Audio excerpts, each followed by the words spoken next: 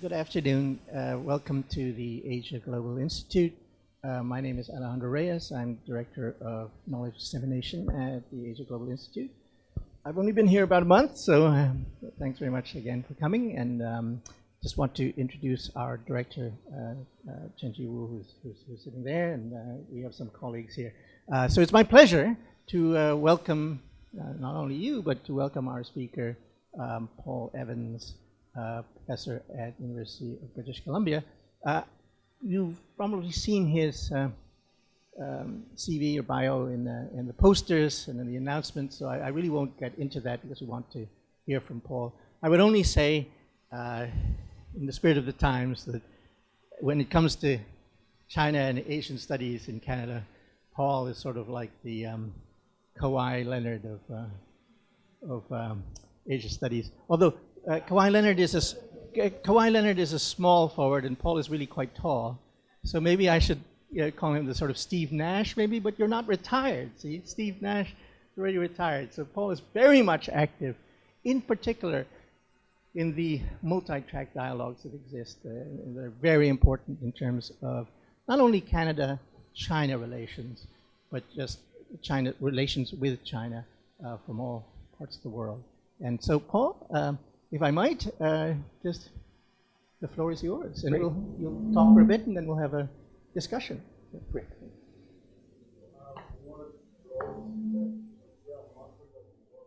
Oh, okay. Well, uh, so uh, uh, yes, full disclosure. Uh, until about a month ago, I was uh, the um, senior policy advisor to the assistant deputy minister for the Canadian Foreign Ministry. So I was managing a um, the Asia Pacific policy planning uh, in the Foreign Ministry Canada. So again, thank you very much. And Paul, please.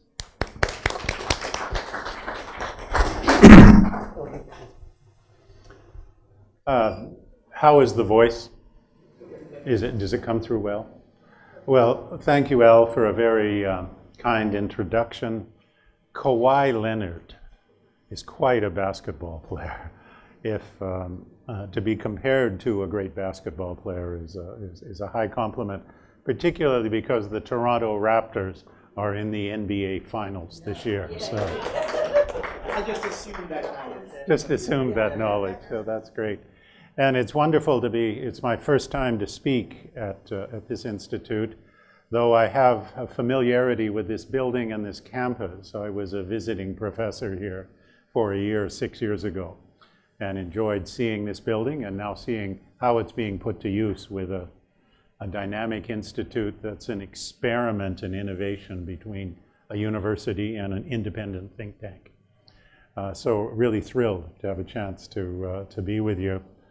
Uh, before I begin, I'd like to know who you are. Uh, who's in the audience today? How many of you are students at the University of Hong Kong? Ah, which professor told you you had to attend today's session? and uh, how many of you are based here at the, at the Institute, the Asia Global Institute? How many of you are, are staff? Okay. Um, are any of you from governments?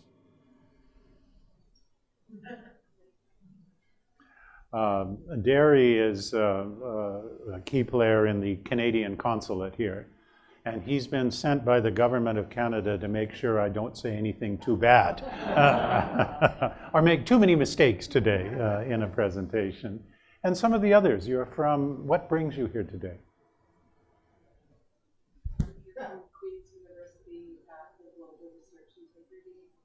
Oh, the conference that's going on. In fact, she and I went to Well, thank you for coming. That's great. Anyone else volunteering?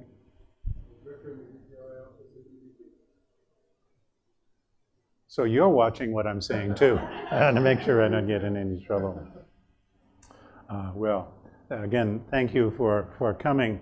And this is an informal presentation. I'm uh, a little tired and a little um, exhausted by a last eight-day trip to Beijing, Shanghai, and Shenzhen. And I'm coming through Hong Kong with a set of questions in my mind now about the state of Canada China relations. And it is a uh, topic that I'm afraid is not a happy one. The Canada China relationship now is at its coldest point since we established diplomatic relations in 1970. And I'd, I'd make the case it's also at a, at a colder point than it was in, after June 4th, 1989, where there was a period of several years of difficult relations, but after three or four or five years, things went back towards a, a, a kind of more balanced approach on China. Um, this is a moment of, of, of, high negativity in the relationship. And I would use the metaphor of what's happened with Canada and China, not just as an example of a bad thunderstorm or of a snowstorm, a bad bit of weather, and a really bad bit of weather. This is true. But I think that what we see now unfolding between Canada and China is an indication of a kind of strategic climate change. That this doesn't, this, we're not going to be going back to where we were uh, in our relationship with China, nor in our relationship with the United States, nor in the world. This is a, uh, uh, a significant moment. And I thought a way to do that would be to speak through two sets of issues. Uh, one of them is going to be on the case of uh, Madam Meng Wanzhou and the two Canadians, uh, Michael Kovrig and Michael Spavor, who have been uh, uh, under arrest and are soon to be charged uh, and are in a prison in Beijing. and to talk a little bit about what that event or those series of events have meant in making this relationship colder in the short term, but also repositioning us in the longer term. And the second thing, if it would be of interest to you, would be to say a little bit about a decision that Canada is facing very quickly on the subject of uh, Huawei and its investment in our 5G uh, system. Uh, that will be uh, a decision that is pending before either this government or uh, the government that's in place after October. So that's what I'll try to do is use those two points to help us get, get to give, give you an impression of what is going on in our bilateral relationship, but how this is a much bigger story than a Canada-China story. That there are things in the background here that are reshaping the relationship, and that's going to have a lot to do with the United States and US-China relations, but a broader shifting balance of power and where Canada is going. So, uh, do all of you know the name Meng Wanzhou? Everybody in the room is looking around. We, you've been following the story. And after her arrest in Canada on a, on a basis, she was detained on the basis of an extradition request from the United States.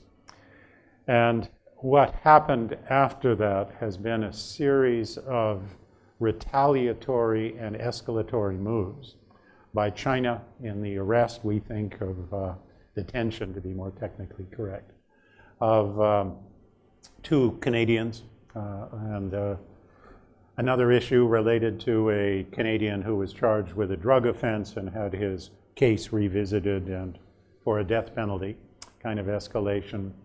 Uh, uh, further Chinese escalation was on banning particular kinds of canola sales, which is a big crop that Canada produces, and four or five other measures, in total, I think, seven steps of escalation. On the Canadian side, there have also been acts of escalation. And principally, it was the approach of the Canadian government to uh, publicizing and internationalizing the situations of those two Canadians, the two Michaels. The Canadian government made an effort to publicly uh, denounce China for what they saw as an illegal or an improper detention, but they brought other countries into the mix.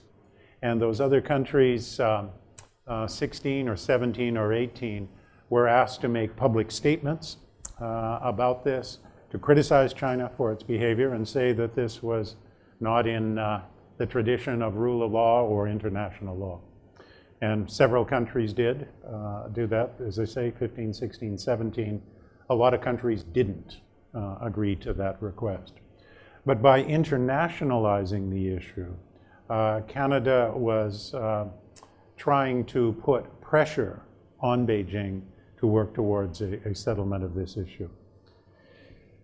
Uh, and we're uh, now in a situation where the worry is that those escalations may continue and that they're in various ways. Canada may be pushing back against China uh, in uh, areas. Uh, there's several things, everything from not training Chinese athletes in Canada to some visa issues that are being played with, to some views on investment.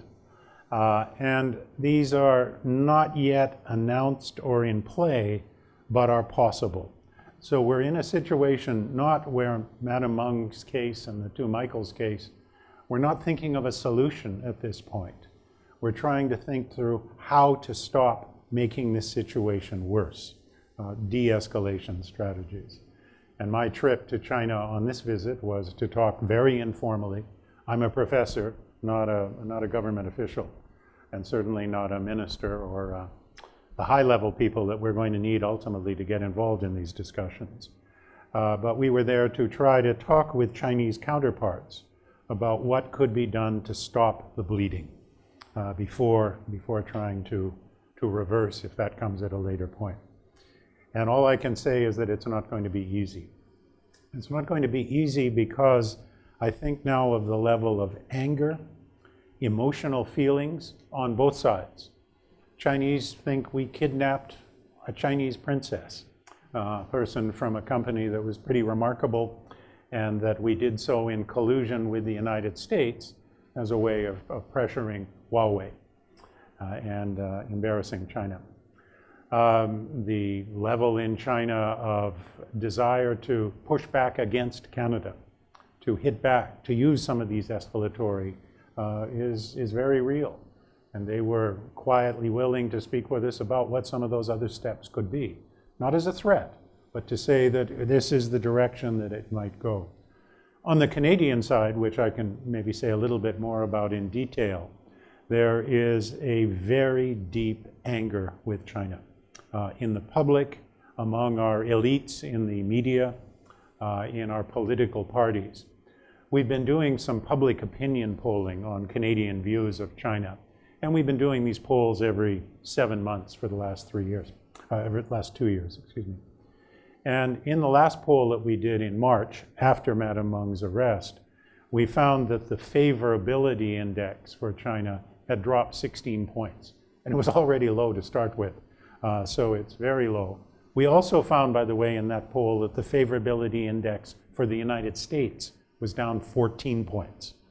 Uh, so one gets a sense of the intensity of this, uh, this situation as it's affected Canadian views of both countries.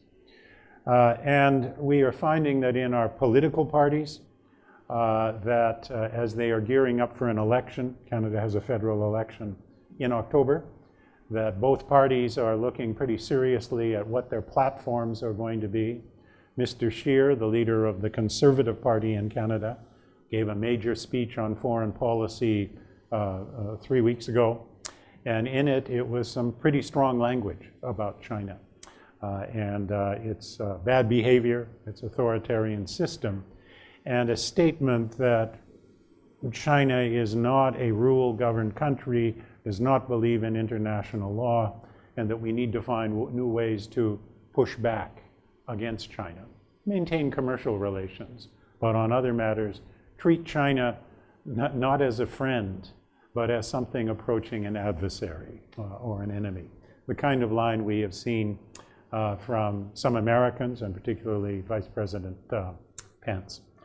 And uh, our opposition, the Conservative Party, have made the case that if elected, they will uh, end Canadian involvement in the Asian infrastructure, Asian Investment Infrastructure Bank, and that they will not allow, they will ban Huawei from uh, involvement in our 5G system. Now, what people say before an election is not necessarily what they're going to do. But I, will make a case to you why I think this time a harder line against China, and in fact, a reorientation of our policy if a conservative government is elected, is likely. Uh, the Liberals, our ruling party, Mr. Trudeau's uh, government, are in the midst of some very difficult internal problems uh, related to uh, domestic issues. But uh, the Trudeau government is being widely perceived as being too soft on China, uh, that its approach has been has not been sufficient to deter Chinese actions, and that he's not strong enough in the actions that he's going to take in, in rebuttal. We do not have high-level envoys going back and forth for discussion. Our government-to-government relationship with China is frozen. Uh, our, um, some of our ministers uh, and ministerial visits frozen. Uh, there are some, some diplomats who are able to have discussions, but we are not even able now to use our track two instruments that we used to. These are these special groupings that are non-governmental technically, but involve government people in their private capacities. That's been difficult. We organized a meeting three weeks ago on China, Canada, and the Arctic and we invited, we wanted to do it as a track two meeting, but we were told by both sides that that wasn't possible now. But if it was an academic meeting and some government officials were invited as guests, then that was okay. But that's at a lower level uh, of these matters, and then we have our normal academic relations. So this is a moment of, um, uh, of real difficulty, and a Canadian public and a Canadian press the media, if you read Canadian media, if you look at social media in Canada, there's a lot of highly negative things said about China, but also the view that it is time for us to change our engagement strategy on China towards something else. So this impact on opinion, at least in the short term, uh, and elite opinion, is very serious. Uh, and we are trying to then find a way that in the midst of these very strong emotions, the anger, Canadians feel that there are two people improperly imprisoned, that they are not being treated very well at a moment where Madam, uh, Madam Meng is living under house arrest in a very beautiful mansion uh, in, in Vancouver, where our two guys are in pretty difficult prison conditions. So in that context, the anger is there we have been trying to see if there are ways that we can build some confidence again, not to be able to resolve this clash, but to keep it from getting worse. And this, one of the examples we raised with our Chinese friends, uh, can we still use the word friends? Uh, I think we can in some in very specific settings uh, we um, got into a matter of what kind of steps could be taken by each government to uh, reduce tensions a wee bit. And to give one example, we felt it was very important that the specific treatment of the two Michaels, the actual terms of their imprisonment, what materials they have access to, who can visit them, what kind of things, even some small steps that could be signaled to the Canadian public, recognizing that there are regular routines in Chinese prisons, but there's a variety of discretionary areas that the government could act on. So to, to, to, to do some of those and signal them to the Canadian side might be something that, uh, if it could happen, could lower some of the tensions. Similarly, on the other side, one of the issues we discussed was how Canada's internationalization of the issue should proceed at its next stage, and whether somewhat less of a high profile on these matters, some rather different language by the Canadian side, might be a signal without, without changing our basic position, but just some signaling around that, that we have reached a, a level that we can maintain without trying to drop through the floor again. So those are some of the things under discussion around um, uh, Meng Wanzhou and uh, the two Michaels, because there are many people in my university and our country for whom this issue is a deep emotional and heartfelt one. Remember how the Americans felt when their um, uh, people in their embassy were arrested in uh, Iran in the 1970s. Remember the kind of emotions that came out? No, that was a lot more people. It was a bigger scale. But remember those emotions. You can't understand contemporary American policy towards Iran without remembering those moments, those anger, that anger that the Americans had at seeing their, their hostages, their diplomats as hostages. And the scale is different, but I think the emotions are the same, and these may be long lasting. And that spills over then into some of the decisions that the Canadian government needs to make, whether it's this government in the next few months before the election or a new government, uh, liberal or conservative or whatever. Uh, and the most pressing and high profile of those issues is Huawei's involvement in our 5G system. And this is a complicated issue. Technically, politically, every country that is looking at this matter is looking at a variety of concerns, price and technology, but particularly cybersecurity concerns. And I think it's fair to say that before this chill, before this, this difficult period in, started in December, the Canadian professionals were tending towards an assessment of Huawei that was, there are concerns.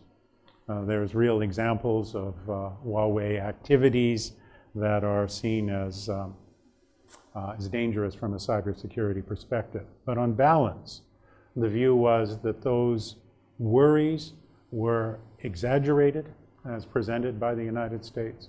Secondly, that uh, those particular problems could be identified and mechanisms set up to increase, to some degree, trust uh, that and verification uh, on Huawei equipment and other things. And there was also a third view that is quite important, is that some of our officials uh, uh several months ago were of the view that we do have a cybersecurity issue uh, and, uh, with reference to our current systems, but also 5G, but it was not just about China as a threat.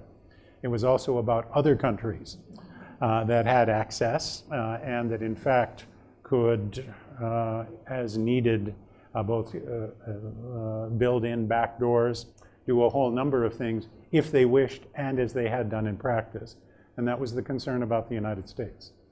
Uh, in a serious Canadian discussion, the name Edward Snowden occasionally comes up.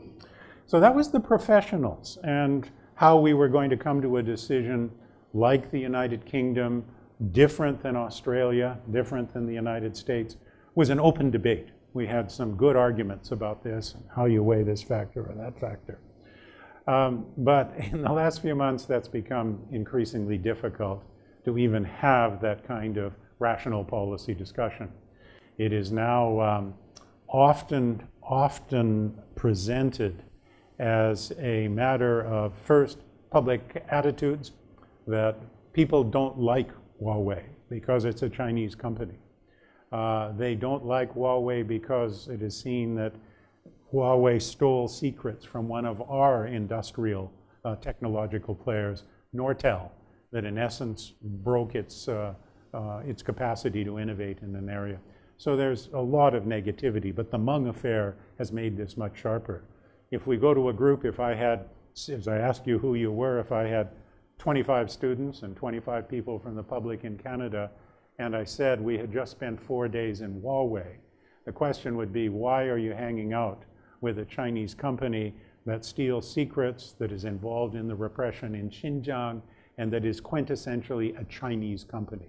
And for that, whatever else we know, no way. And so the feelings of people are very strong on this. But the new factor as well is pressure from the United States.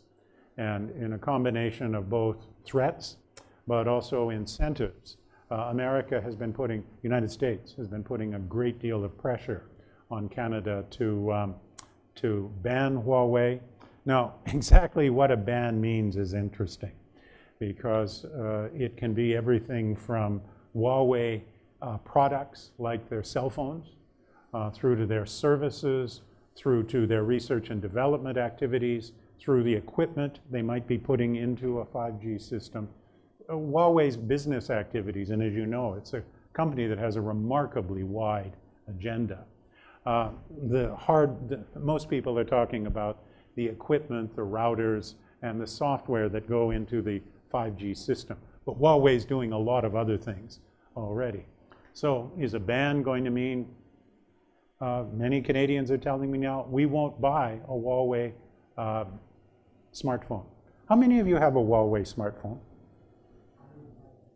Sorry? You don't have it now.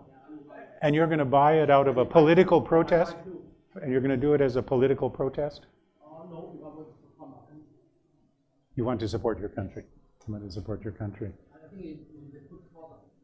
And it's a good product. Okay. But not many of you have Huawei cell phones. Uh,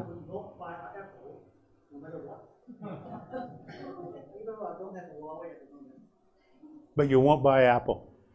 Why? Too expensive.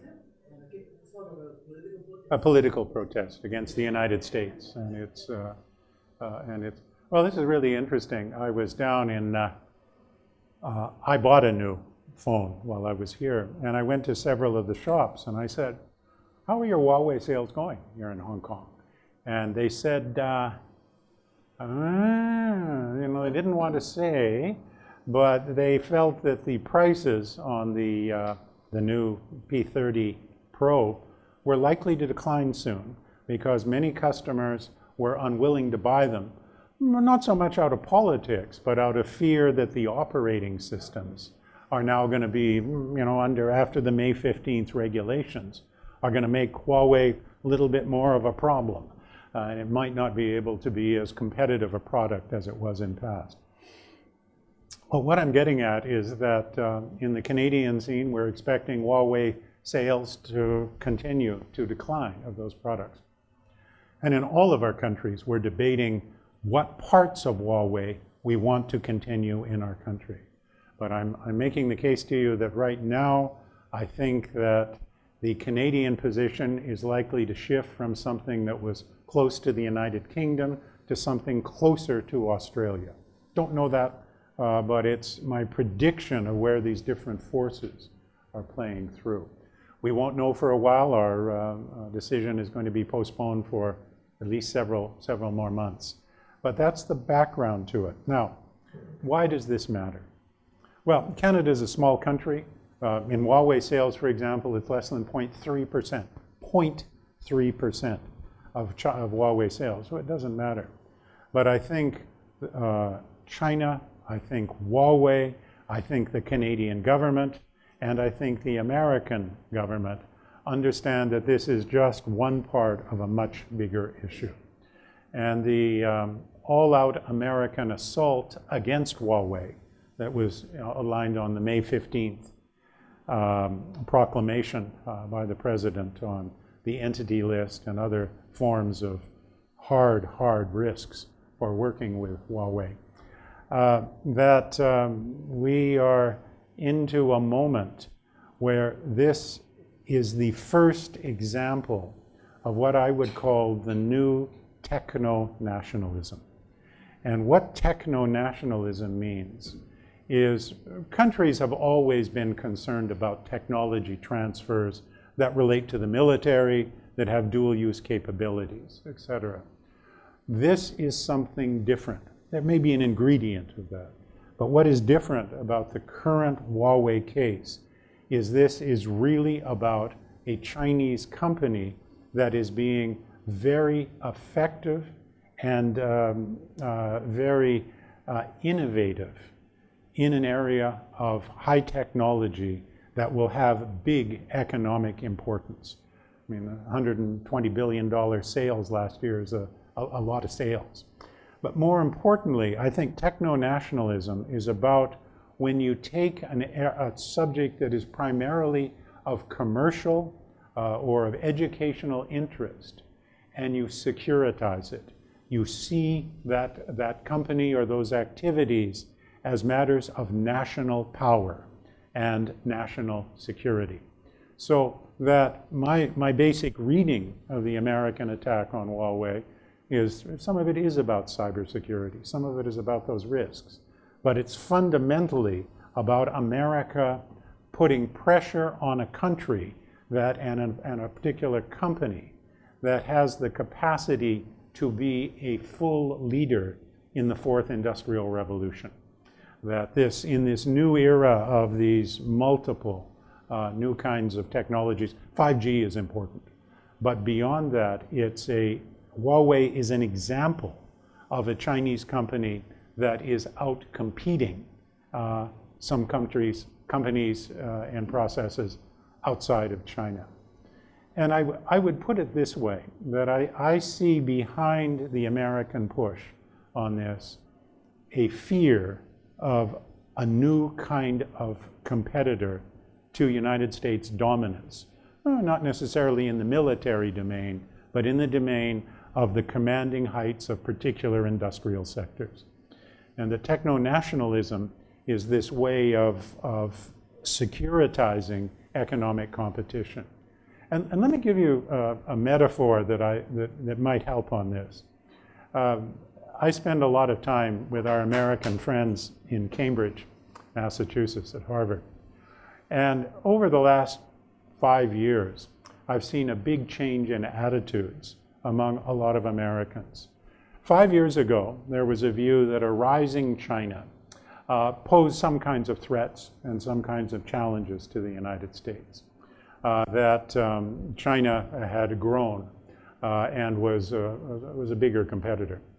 But that eventually, that very quickly, China would run into a ceiling, that it could be an imitator rather than an innovator, that it could be a, uh, uh, a manufacturer rather than a design hub. And so that it was going to hit a ceiling.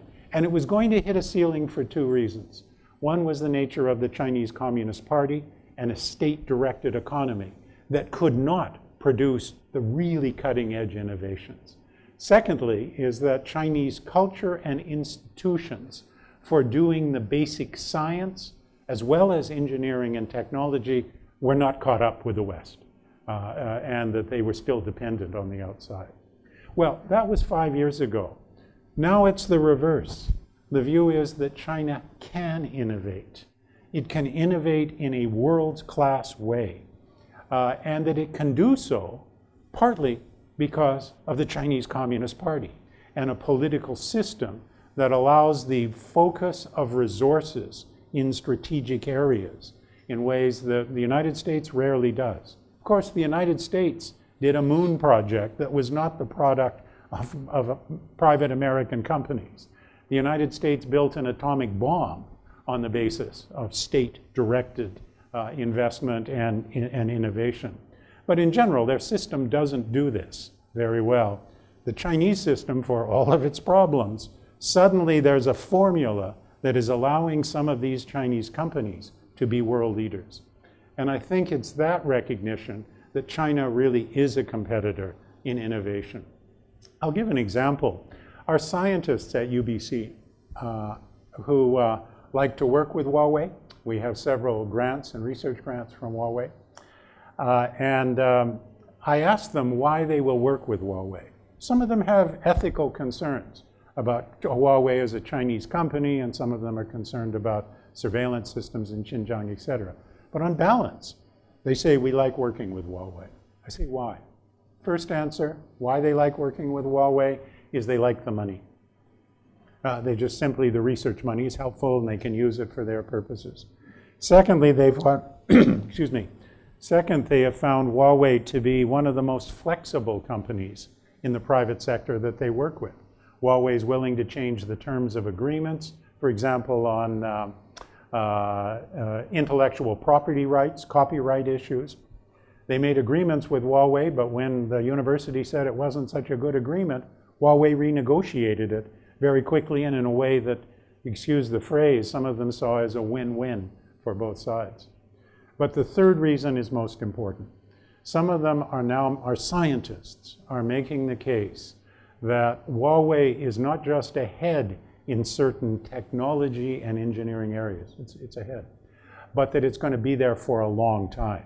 And the reason is not just because of a magic invention, but because their ecosystem for innovation and their connection to the natural sciences work in physics and other areas, which used to be something, and, and still is, where I think America has a great advantage. But Huawei is catching up very quickly in those areas. And our scientists tell me that in several fields now, to be a world-class scientist, you need to work with the Chinese. Now, that raises all kinds of security risks and other challenges, but it's an indicator of how serious this, this competition is. So I think then, if I can pull this together at the end, I mentioned that we face some very complicated issues in Canada-US relations, as well as Canada-China relations. And some of that is Canadians, on balance, are not fans of the Trump administration. We haven't liked the way we've been treated in our negotiations with the American side, but it's deeper than that. It's a view that uh, Mr. Trump's government, Mr. Trump is the great disruptor. And basically, the institutions, practices, and norms of uh, an international order that was never perfect, never all right, but generally pretty good, and one that Canadians back the United States in building multilateral institutions, WTO, a variety of international institutions and norms. There's a, there's a widespread feeling that the United States is unraveling the system that it created. And uh, this is something of deep concerns to serious Canadians that we, um, can we trust the Americans the way we used to? Never trust the Americans fully. Never. Never trust anybody fully, except your mother. Uh, and uh, never, uh, but in this case, there is a, is a trust deficit that was reinforced by the structure of our negotiations. So we got problems uh, with the United States. And uh, we are finding that Canadians increasingly feel themselves not just caught between a competition between the United States and China, the big conflict, but that we find ourselves in a situation where we are not certain that either of those countries are going to be constructive forces in the kinds of globalization and rule-based order that for a little country, or a small country like Canada, middle power, that we've desired to move towards. So let me give a couple of examples of that, or let me give a metaphor. Um, in Canada, there is a feeling among some that the United States has thrown Canada under the bus uh, in the context of Madame Meng's arrest. Canadian officials did not want to get involved in this, but we got pulled into it because of our American friends demanding it for reasons that we can go into if you wish, but uh, we were doing the American bidding on something that was, um, has really put us into a tough spot with the Chinese. That's true. But what's interesting is that there's a feeling that the United States is not just trying to um, get Canada involved in this particular Meng and Huawei case, but that the US is trying now to pull Canada into its coming Cold War with China. So we're not just being um, thrown under the bus, we're being tied to the back of the bus uh, and dragged along. Uh, and that's, uh, you know, at least some people are very worried about this. But the more important part of the bus metaphor is that with this anger with China, with the view that we've now seen the real face of China, that China can't be trusted, um, that the third part of the bus analogy is that there are many Canadians that now want to get on that bus, the confrontation bus with China. And I think that as we see the platforms of our parties being developed, particularly on the conservative side, their view is that in this situation, the best thing we can do is work with our close ally. We have problems with the United States, but the argument is that maybe in a few years, maybe in a few years, the United States will be more the United States we used to know. That this is a Trump phenomenon that, you know, in five years, uh, four years, two years, six years, whatever you think is the right amount, that the United States will revert more back to normal. Maybe not exactly where it used to be, but that to oppose them in the meantime is very stupid uh, tactically. And that even if we don't agree with the Trump confrontation with China, the only smart move is to go along with it. And that's a kind of argument that, um, that we're increasingly seeing on the Canadian side in a new way. So, how we're going to manage this, how um, uh, the Canadian government, uh, this government, uh, our bureaucrats manage this, these are big issues. These are the hardest strategic issues that Canada has faced since, certainly since the end of the Cold War with the Soviets, but is now in a, in a context we don't know what the future world order looks like. We are afraid of being home alone in a world that is characterized by national rivalries, strategic rivalries, by countries on multiple sides breaking rules, trying to pursue bilateral or unilateral approaches rather than multilateral. The Canadian world order is something we believe in, but may not be sustainable. That's the argument that's in the background of a situation about Madam Meng and a situation about Huawei. Thank you.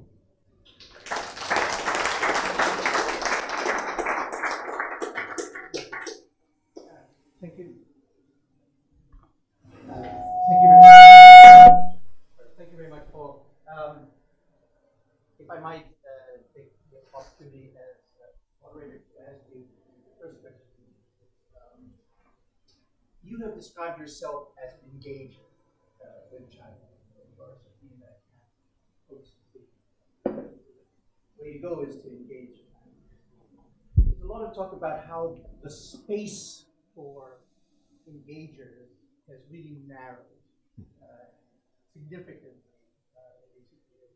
I wonder if you could reflect on that from your own experience, and of course you uh, do a lot of work with uh, folks in the United States, with China experts there. Um, what, what is happening, and what are the consequences you see uh, with that narrowing? Excellent, uh, challenging question. you know, labels can get you in trouble. What is a hawk? What is a dove? What is an owl? Uh, this kind of categorizing. But I think it is fair to say, to use the words that uh, Professor Reyes mentioned, that for many years the basic philosophy of the Canadian government was engagement with China. Now, engagement meant a lot of things. It didn't mean always going along with Chinese, but on balance, the fundamental bet was that bringing China into the international system would be good for the Chinese, but it would also be good for us and the system.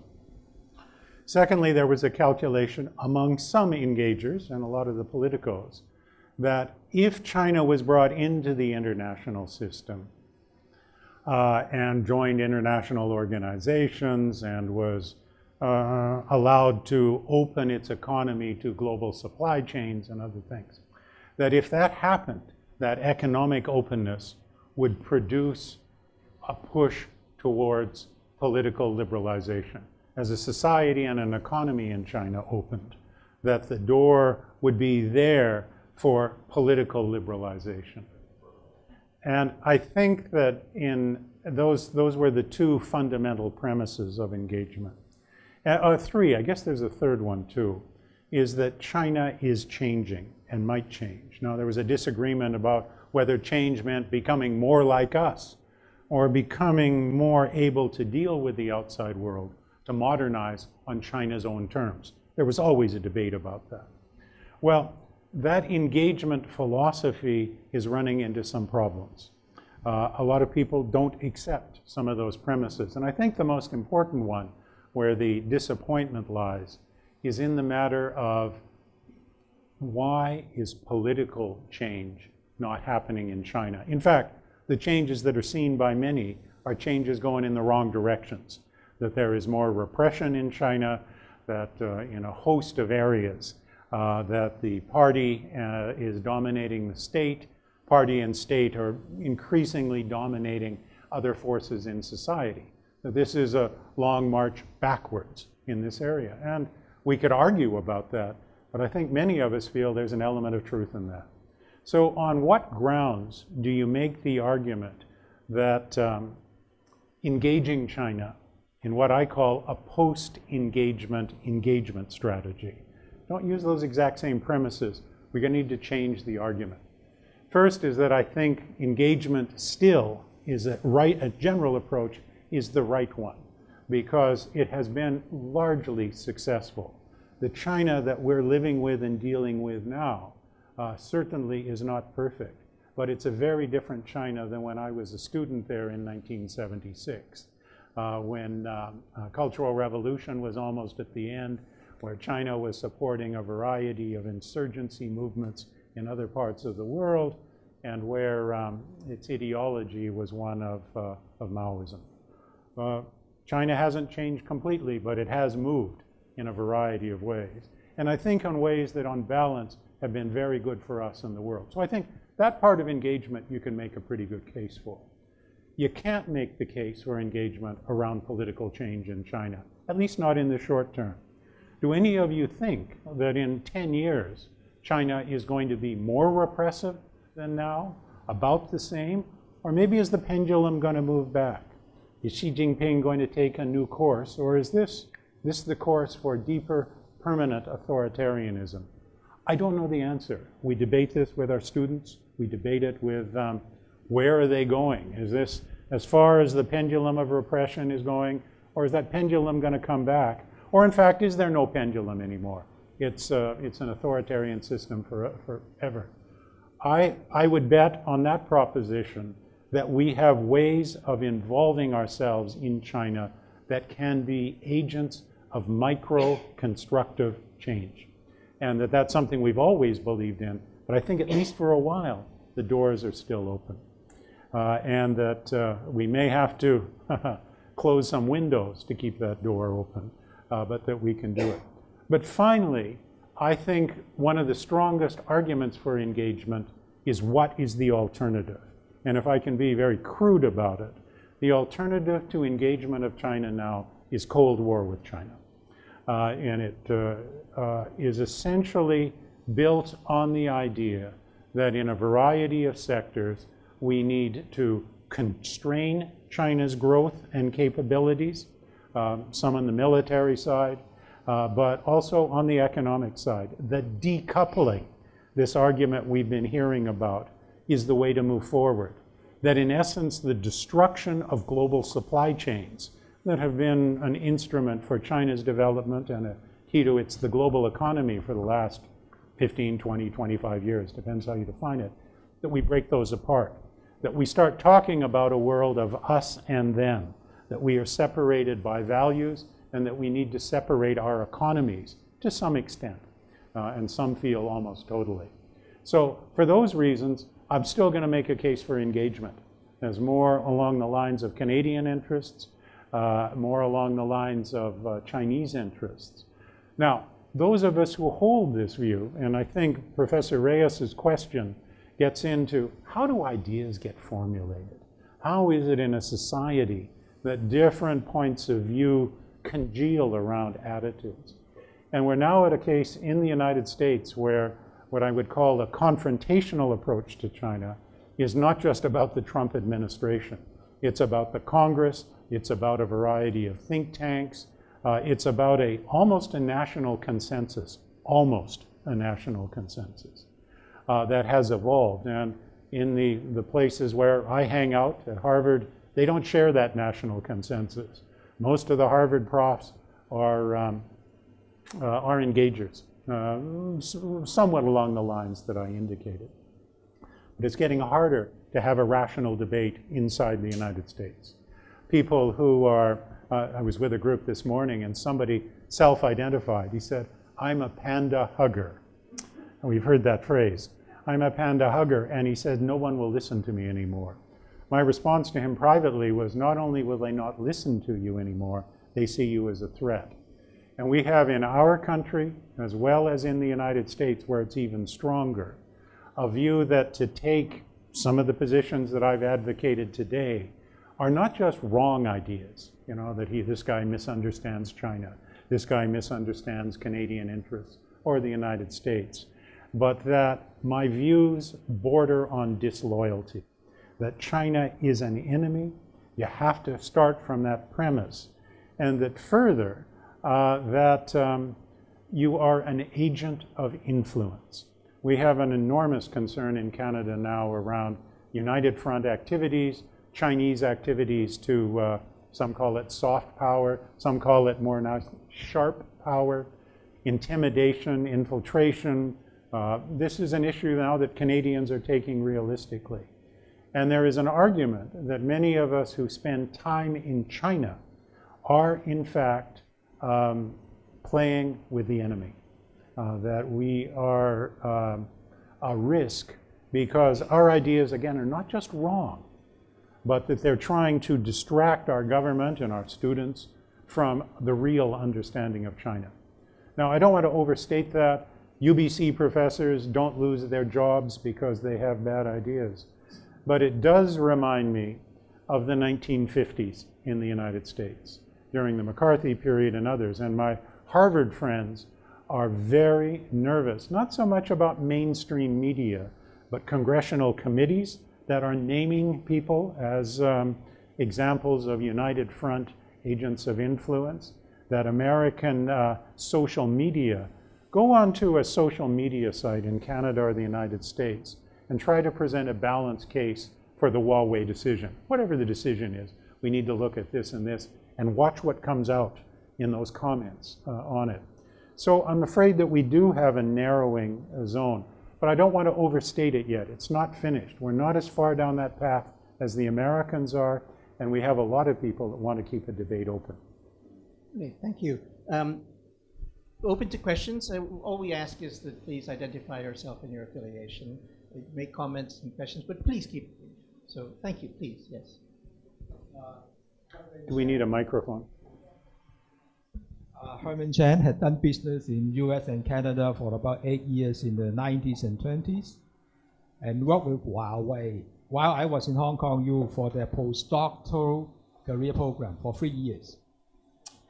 To understand the Canadian leeway, how much flexibility it has in this complex, I, wish, I, I called up my old friends in southwestern Ontario and around Ontario who are dairy farmers after the free trade agreement, they said their five generation dairy business is going to end because of the influx of cheap US product. Okay? This is number one. Number two is I asked a few more friends in, in Canada, hey, your American cousin is a real big gorilla now. My, my question is, other than being anger and mistrust, how much Canadian can really work with the US without being a puppet on the string? Hmm. Well, I, I think in, you know, our economies are so integrated in so many different ways. This is not just about, about trade uh, and sectors. Um, little countries like Canada that live next to big countries always have to be aware. And it's partly why we have wanted rules in our system. We want to negotiate treaties with the Americans. We want uh, settlement mechanisms with the United States that don't work perfectly. Any Canadian business person that I know knows that the rule of law only goes so far in working with the United States. They also work on the basis of interest. However, however, on balance, over time, we have been able to establish rules that generally work with the United States. Now, that was then and this is now. I've been away from Canada since the Trump administration has announced its new tariffs on Mexican products that uh, related to the influx of, uh, of immigration seekers from, uh, from going across the Mexican border. That is the kind of thing that makes Canadians shiver. Uh, we, uh, when the rules of the game can be so dramatically changed, where just as we're trying to finalize our new North American free trade agreement, China, uh, China, the, the, Mex United States, Mexico, Canada, just as we're doing that, that at the drop of a hat, Uh, last year, the big issue in Canada was US tariffs on Canadian aluminum and steel exports on national security grounds, that Canada was a national security threat in this area to the United States. That was to me one of the key moments in seeing, aha, this is techno-nationalism. They're using economic uh, sectors to, for political purposes. So do we trust the United States? Probably yes. Uh, probably yes. Do we fully trust the United States? No chance. No chance. Do we fully trust China? Uh, no chance. Do we trust China a little bit? Um, that's in question uh, right now. I think that's a mistake. I think we can do a lot of things with the Chinese and that they're in many areas as responsible or more responsible an international actor than the United States. Not in all areas, but in, in, in many areas.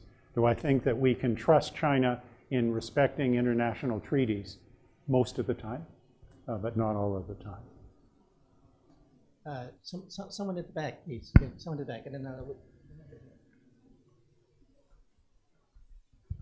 Hi, I'm Lucas, and I'm an undergraduate uh, in the University of Hong Kong. So, uh, just now you mentioned there's generally a negative opinions on China in the elites in Canada, and if a conservative leader is elected, there is a possibility that uh, the Canada may exhibit commercial activities in China. But some. given the uh, current narrative that despite slow, slowing growth, uh, China remains a global engine, global growth engine, and so actually, how could um, Canada take a balance between investing in China, benefit from the economy, while taking a stance on China's issues?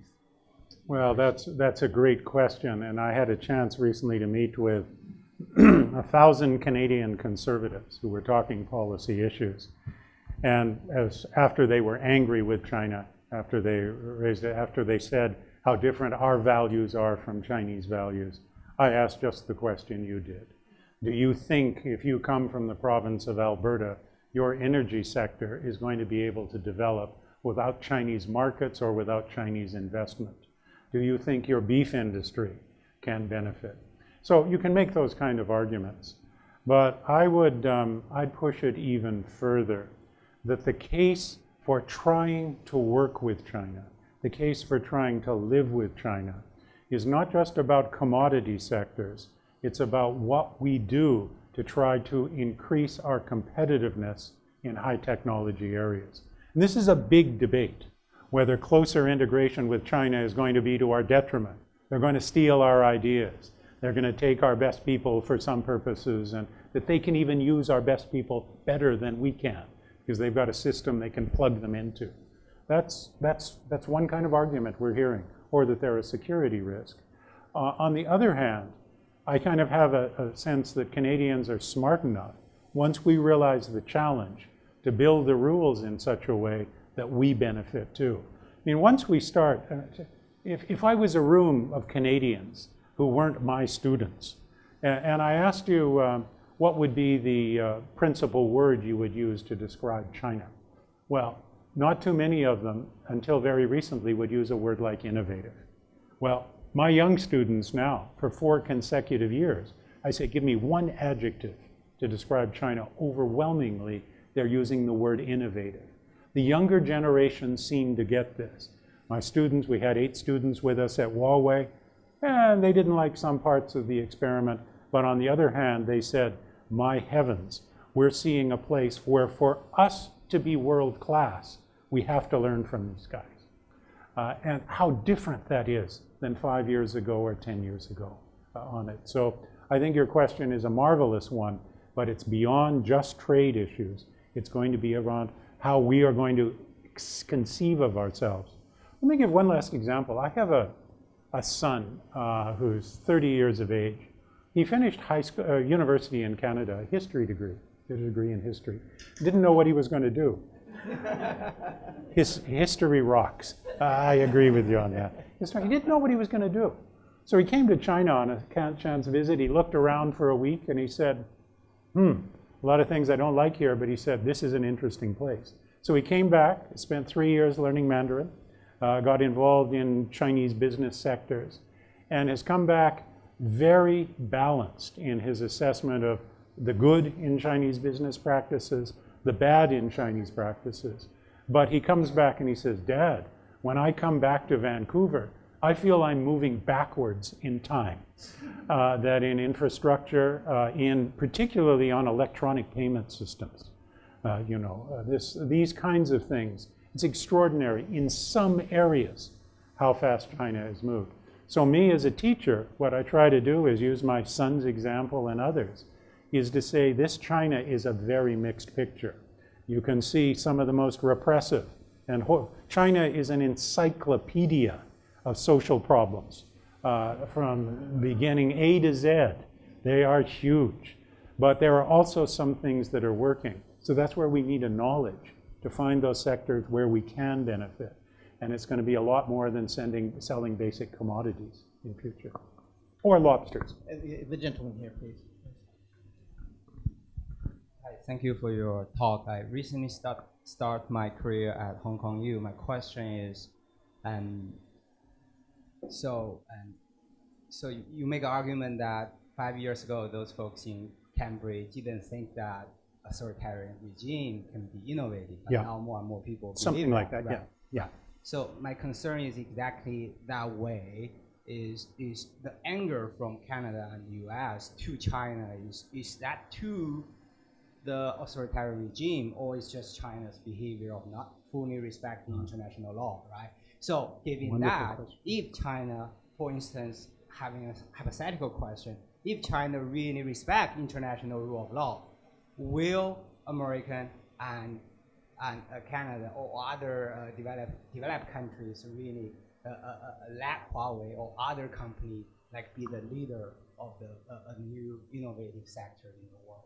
And that's similar to the case of Japan, like like maybe Japan is not authoritarian, but Japan respect the international rule of law. So some Japanese brand can be the Yeah, leaders really the world. But but the argument in China is there are anger in the U.S. and America, but there are anger in China too. Uh, as far as my reading of the Chinese social media, people in China that no matter what, America won't trust us. So that's that's their excuse to not respecting the international rule of law. Because their argument is that's that's will be the future conflict.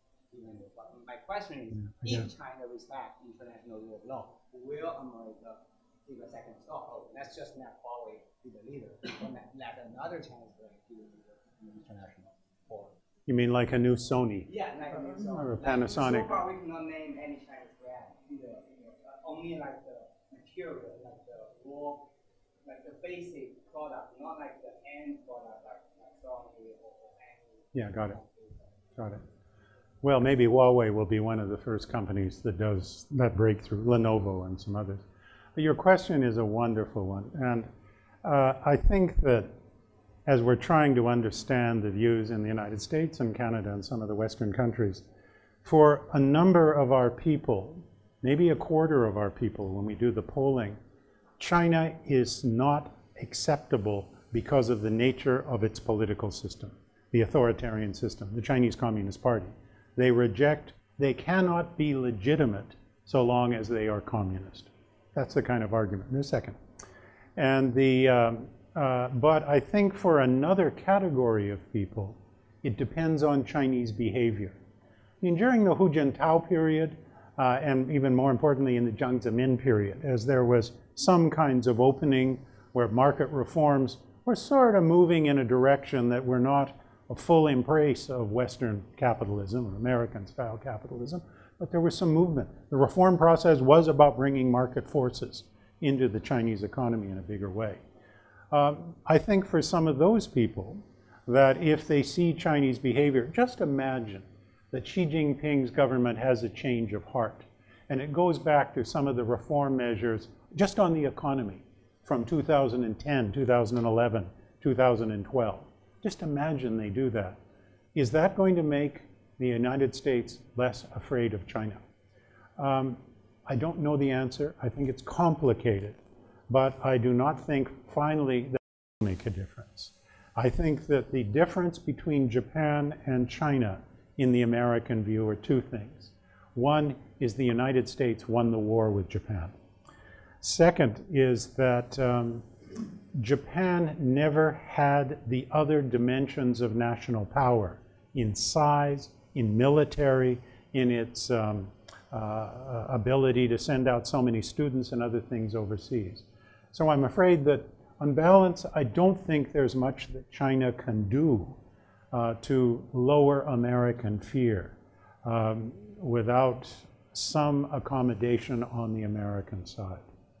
I'm looking at your eyes and you don't believe my answer. I don't believe you. It- I think this hypothetical question itself is not very convincing because you cannot expect a country or a business person to make it to change the attitude of doing business.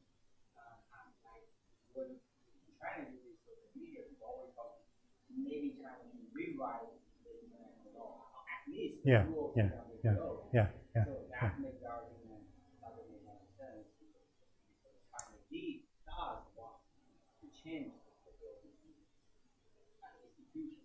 I, I, I'd use the argument that China does want to change some rules uh, and that they are a revisionist power in a variety of areas. But I would say selective revisionist.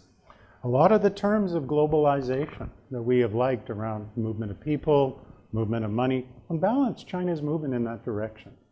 Uh, and so that they are. But I think that it's, you've raised the deeper question, whose interests do the rules serve?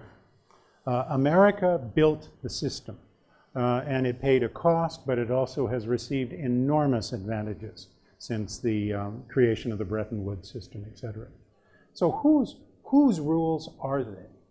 And I like your question because I think that the right one to ask is not just how is China going to adjust to the rules of the system, but how can some of us help reframe those rules so that China can be a part of them, at least up to a point. And I think that if we're using the terms that we have seen of the US China economic negotiations. I mean, I was in China in the last week where people were reading what the US negotiating position was. This is leaking out in social media and other sources. And they were rigid. They thought this was like the, um, uh, what led to the May 4th movement, a country that was dictating to China terms that were completely unacceptable, that in essence said, to, be, to deal with us, you have to behave like us. And uh, that you then are going to have to make the adjustments in your economy. And I think, I don't think that's the way forward. I don't think it's going to work practically. But I think for middle powers, what we try to do is devise rules that have elements of compromise in them. And this one, the key one in the Chinese context, is state-owned operations. For Canadians, that's not as difficult. We've never believed in market fundamentalism the way the Americans practice it. We had big state-owned corporations in our country. Uh, not so many anymore, but we, um, we felt that there, as part of our national uh, development, we had to do some things differently than the Americans. We funded our railways in a different way. We did our construction in a different way. So I think there's some sympathy to the challenges that China faces coming into a system that is a rigged system. It is very hard for developing countries to get beyond the middle income trap. And how we design rules that might accommodate some of Chinese interests means that a rule-based system is going to have some slightly modified rules. And how to do that intelligently, that's why you come to talk to Canadians.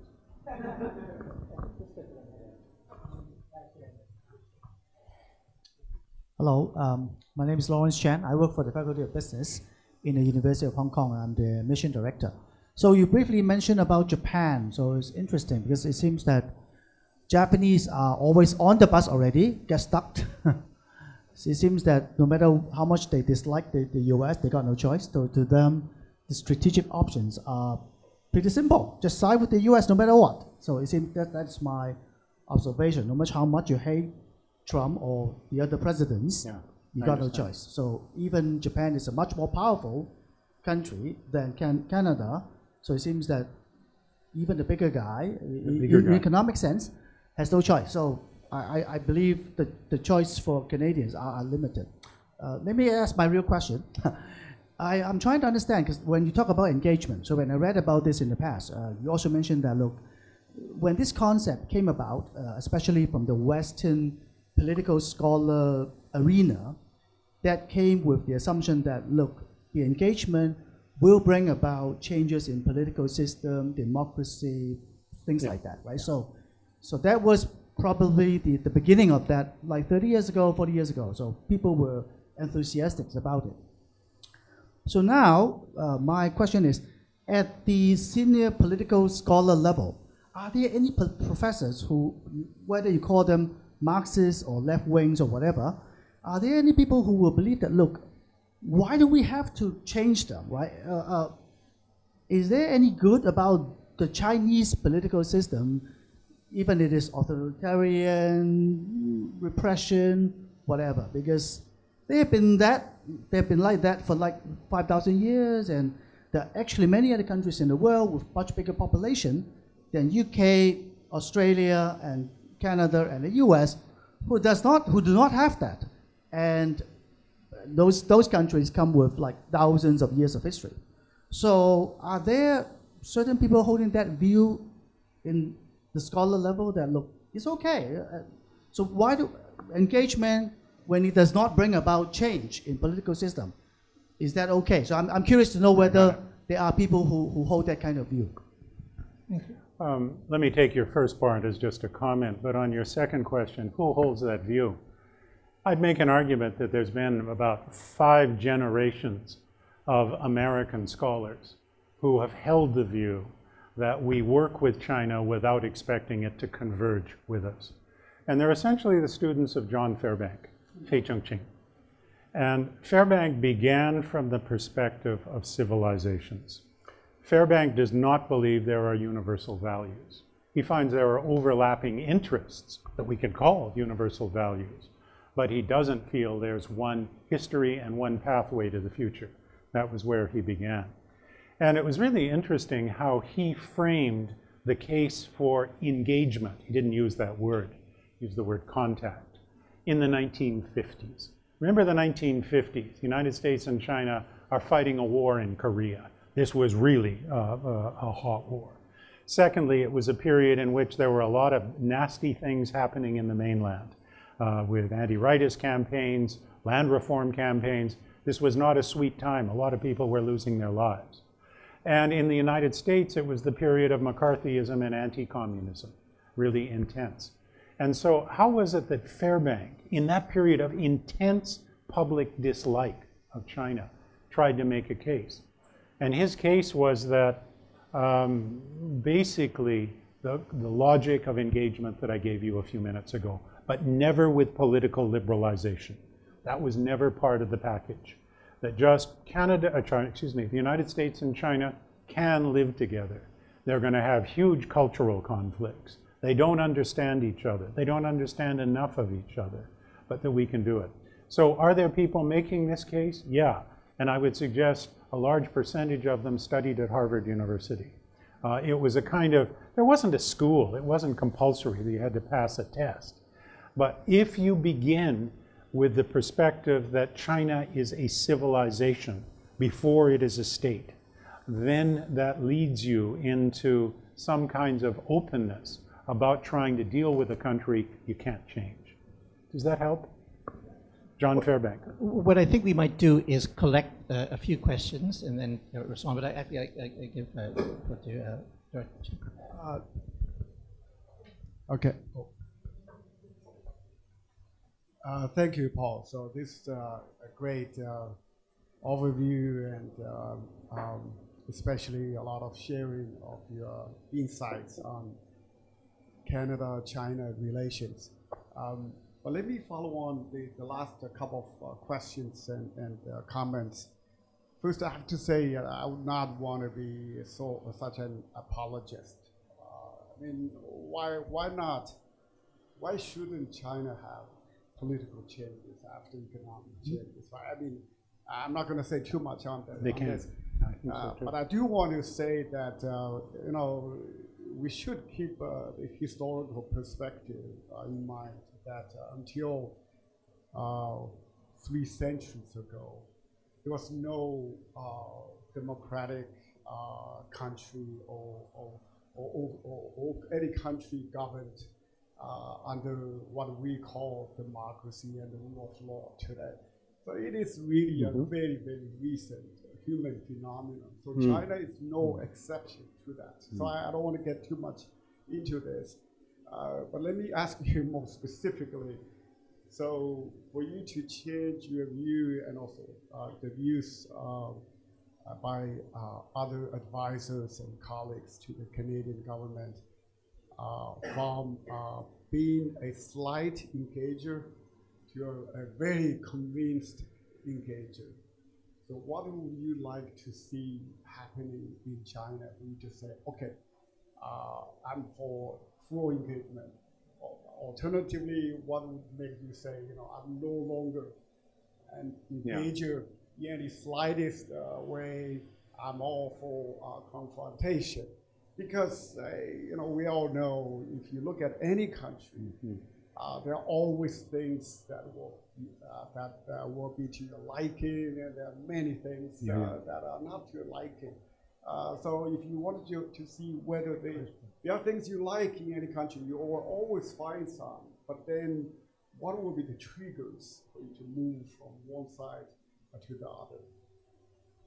So Paul, take this back to question and then That's we'll a brilliant question. Uh, uh, go ahead, Paul, and then we'll, we'll collect after. You have to answer the director's question. Yes, of course. Ah, that I understand. That I understand. And particularly when it's such a good question, what would be the trigger points? And some of it's a it's a question we discuss quite often among the, the China watchers. I'm not a China specialist. I'm an international relations scholar. But when I talk with my deep China scholars, I say, what would be the triggers that would say this is a country we cannot deal with, we should not deal with, we should try to contain and confront. And, you know, as we came to that view about Nazi Germany in the 1930s and the 1940s, that there was something that there in their system, there were some good things, bad things, but there were some things that were unacceptable, unacceptable. What are those unacceptable items? And um, let me give a, two examples, and they're both in foreign policy. One is if China begins to behave militarily in this region like the United States did in uh, Latin America at the turn of the last century. If China begins overthrowing governments uh, and installing governments to its, its, to its wishes, uh, if China begins using overseas military action for purposes of uh, threatening, containing, or in some cases destroying other nations, uh, that, that puts me over on the side of containment. Um, a third is going to be domestic. We are all so deeply upset now, us liberals, on the matter of what is happening in Xinjiang. If we found that in Xinjiang there were examples of genocide or mass killings of individuals uh, or of, of entire groups, if the Nazi Germany kind of solution came through, if it was the violent side, that would be beyond the pale. Uh, if in economic terms, um, that what happens with our two Michaels starts happening we already have lots of Michaels, by the way. There are dozens of countries that have had people illegally detained in China uh, and uh, under some pretty bad conditions. This is not unique to Canada. We just made it noisy. If China starts taking large scale hostage operations, if the Chinese, in other words, let me put it differently, a hard question for me about the future is what kind of great power is China wanting to be? Is it wanting to be a great power in the sense of what Japan was in the 1930s with the Greater East Asia Co-Prosperity Sphere, using economic and military instruments to try to create a, an empire, a zone? That's possible. If it happened, then we contain China. Uh, or we try to contain China, good luck. Uh, but we try. Is it going to be um, like uh, a Nazi Germany with a very distinctive form of nationalism and actions. Maybe if it behaves like Nazi Germany to its own citizens and to its neighbors, I say we confront. But what I'm most worried about is that China as a great power is going to see that how you behave is how the United States behaves, or how the United States behaved at an earlier period. We talk about Chinese assertiveness or aggression in the South China Sea. I'm concerned about many of their actions there. But boy, put this in comparison to what the United States did in the Americas in the 19th and early 20th century. You want to see aggression, what that meant uh, in terms of dominating, not allowing foreign powers into the region, then that scares me. So this is the beginning of a longer discussion uh, on this matter. But there are limits. There are limits, and I'm, I'm, I'm hopeful that China is not going to transgress those, that there are internal forces and traditions that will keep it from them. But I don't think we're going to discourage Chinese behavior by isolating them. That's the other side of this. Uh, lock them away and it's going to get worse. So there's three questions as far as I can. There's somebody at the back uh, uh, who, who had his hands raised. Then you, so uh, maybe we can pick, fit you in. Just be brief, please. Okay. We'll collect them all. Uh, thank you. Uh, I grew up in Shenzhen and graduated from UBC several years ago. So, yeah, I'm uh, my my question because I'm studying the uh, authoritarian politics and courts, especially in China, in faculty for HKU, and uh, my question is uh, more in terms of China maybe.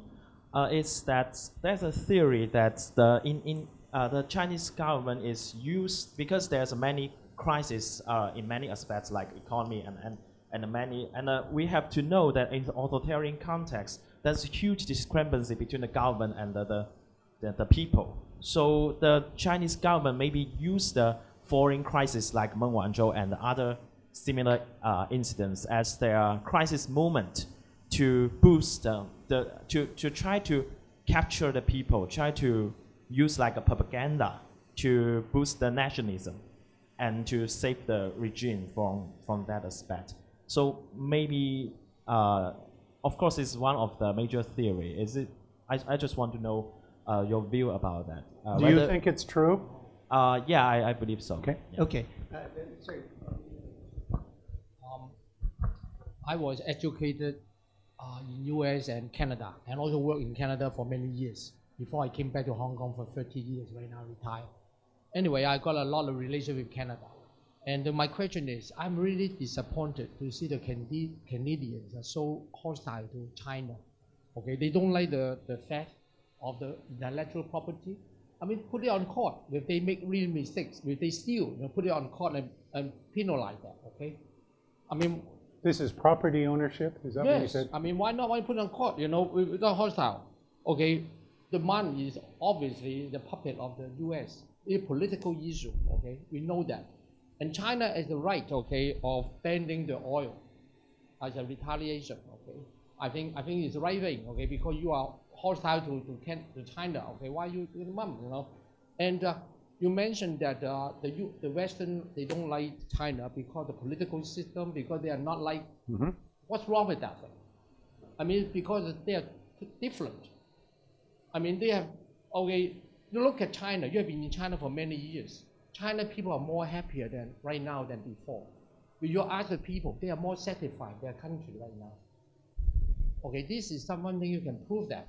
Okay, and when you look compare the, the U.S. what they did to the Latin America, uh, I mean, I'm surprised the Canadian they are more biased to, to U.S. than China. China have done nothing wrong. Right now they initiated Belt and, and, and Road Initiative. What's wrong with that thing? Okay, this is helping the whole. I mean, I mean, U.S. is going to withdraw from the Paris uh, Environmental Pact. Okay, Climate China is supporting that thing. I mean, China is doing a lot of good things right now. I mean, China is changed. Okay, China is changed. Okay, okay, that's all. Uh, yeah, my name's Eric. I just I work in policy and regulatory affairs here. Uh, yeah. Are you a Canadian? yes, I'm from Vancouver actually as well. Never went to UBC though. Went to SFU. Are you a panda hugger? I guess we'll see with the question, but uh, I will wait to hear the question. I'll keep it really, really brief. Um, just looking at the the Huawei situation, do you think was it is it your opinion um, that perhaps Canada paint itself in a corner and restrict its negotiating power uh, by immediately putting down the rule of law argument, as opposed to maybe doing that either later or uh, in a different way. And one last question. Female, madam. Thank you. Hi, I'm, I'm Christy, and I'm currently a part-time student on the Master um, of International Public Affairs program. Um, so, Is that the MIPA program, the Masters of International Yes. and Public Affairs? I used to teach in the program. Great program. We had brilliant students perform. so, um, so I'm actually extremely fascinated by sort of the technological side of things as, in terms of geopolitics. And um, so, in terms of China and Canada, um, and in terms of the areas of AI. Um, so I, I, I do believe that according to scholars, Chinese scholars, and partially Chinese officials, it seems that they have already decided on having AI as a key sort of puzzle piece of the, the competition and how I they agree. can sort of win the fourth industrial revolution and become the great power. And so in that context, and after having read, you know, Kai Fu Lee and others, it, it seems that 70% of the economic benefits of the technology will be shared between the two big powers, China and US. In that context, I'm very, very interested in how Europe, and maybe in this sense, uh, how Canada can carve out a national AI policy that can fully be sort of um, prepared to, to, to do well in, in this stage where it's not the biggest power, but it has potential. I know uh, Yeah. Canada is very strong in blockchain and Yeah. AI. Um, very interested in hearing your thoughts. Paul, the floor is yours. You can select. I, I'm afraid we just have two minutes, and Yes. you know, I have to break. Yes, I know. Yeah. Uh, well, my answer is you better invite me back for another session. That there's a variety of questions here on nationalism. Uh, very interesting comment about how to judge China, by what standards we judge it, uh, and a um, uh, Huawei and rule of law question, uh, and then the, the wonderful question about technology and geopolitics and artificial intelligence. Uh, uh, these are, you know, professors talk too long. We use more words than were necessary. I'd like to be able to answer each of them in one word. On nationalism as a driving force, et cetera, et cetera, no. Uh, on China and its um, the case for the exceptionalist nature of the Chinese regime and history, um, okay, but it's an imperfect record. There's a lot that needs to be improved. The uh, third on Huawei and the rule of law, we painted ourselves into a corner, uh, is the kind of question. I think the answer is yes. The more interesting question is how we maintain room to get ourselves out of that corner uh, going forward. But I want to spend just a little bit, the one minute remaining on the MIPA students' question about uh, AI and China. And as you described it very, very, very carefully, you said China sees AI as a route in the fourth industrial revolution to becoming the great power. That was your phrase. Not a great power. You said the great power. I might be wrong, and this is something as a proposition I put that we out there we test. I think on balance now, China does not want to become the new United States. I don't think it feels it can. I don't think it feels it should be. But it does feel it can be a great power. And that the monopoly of the United States on the commanding heights of technology, which is not perfectly an American dominated role, but that American supremacy in those areas is subject to challenge. And that I would put the following out.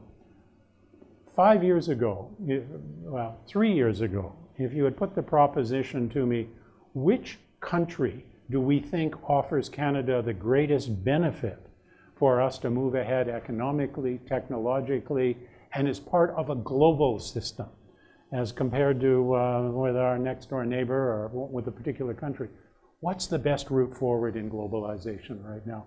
I'd have said hands down the United States. I can't say that anymore. Uh, the question is, do we think China is going to be the country that, when we want to see defense of global supply chains, when we want to see defense of students moving in and out of, of the country, um, I would have said again three years ago, it's the United States. Don't be dummy. I don't think we feel that anymore. So um, I'm relatively optimistic that if we can find ways to keep doors open, that China will be an advantage in a globalized world rather than the impediment. On balance, not all areas, but most areas. So that's my answer. You agree? Only one word, yes or no. Okay, good. Excellent. Thank, thank you very note, much. Thank you great very much. So uh, uh, let me just um, thank Paul. Uh, I bring it back to basketball. Paul, I'm sorry I likened you to a raptor because you are by no means a dinosaur in the business. Oh, Uh, oh. uh, in fact, if anything, you are the golden warrior. Uh, I took out the word state because, you know, state. But anyway, um, so, so thank you again very much for your um, insights, uh, for sharing your knowledge, and uh, uh, we really appreciate it and hope you'll uh, come back and visit us in Hong Kong often and at the Asia Global Institute. Thank you very much.